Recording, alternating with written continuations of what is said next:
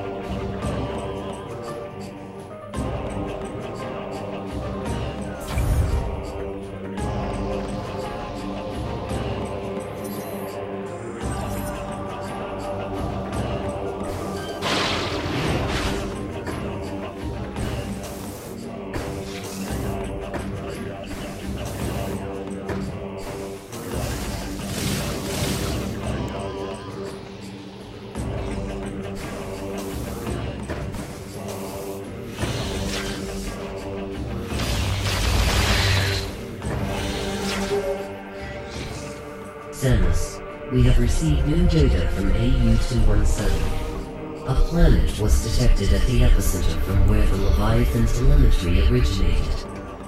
We have named this planet Phaaze.